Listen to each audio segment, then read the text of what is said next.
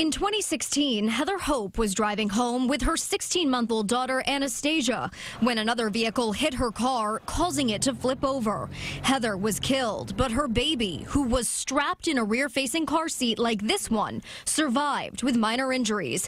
Family members say Heather had been very careful to pick out a safe seat. I paid off, I am so thankful, and I know she would be so happy knowing that her daughter is still here with us. Studies show rear facing seats can be highly effective in front and side collisions, but researchers at The Ohio State University Wexner Medical Center wanted to see how they perform in rear accidents when the child is facing the impact of the crash. We wanted to just kind of run this test and see what happened with the crash test dummies. Study author Julie Mansfield conducted tests on multiple rear facing seats. All were effective at absorbing the force of the crash and protecting the child. Those crash forces are going to be transferred from the shell of the car seat into the vehicle seat and into the frame of the vehicle. And that keeps the crash energy away from the occupant himself. The American Academy of Pediatrics says parents should keep their toddlers in rear facing seats until they're two years old or when they reach the maximum height and weight. The rear facing seat does a really good job of keeping the head, neck, and spine aligned and supported.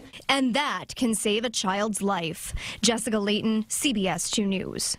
Researchers say that rear impact crashes account for more than 25% of all accidents.